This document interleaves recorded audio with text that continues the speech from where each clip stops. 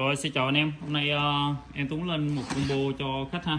Combo của Milky 12V uh, ờ, Combo này là bản uh, Mỹ nha anh em. À, Hàng được sản xuất tại uh, Mexico. Và combo này là một trong những cái set combo mà có thể là nó là một trong những combo 12V bán chạy nhất trong các hãng luôn ha. Đó, Milky 12V đây trong các hãng.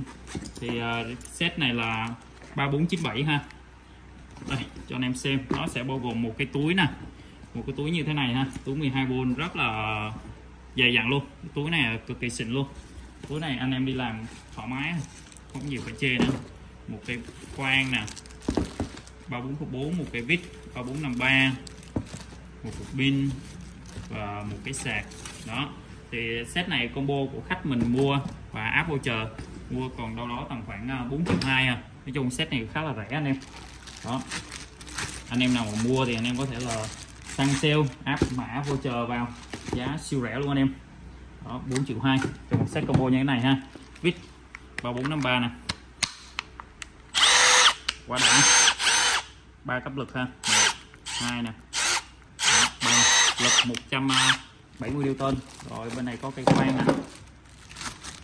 Khoan 3404 cây này cũng khá là hot rồi nói chung cặp này thì anh em nào muốn khoan, muốn quýt, anh em muốn mua lẻ, muốn mua gì thì cũng có đầy đủ cho anh em hết. Đó. máy được sản xuất tại Mexico nè anh em.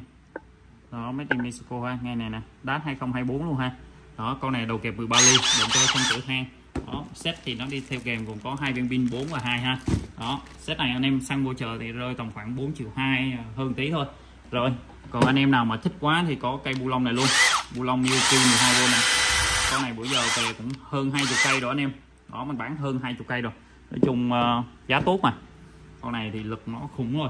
Rồi anh em nào quan tâm thì anh em liên hệ nha. Rồi chào tất cả anh em.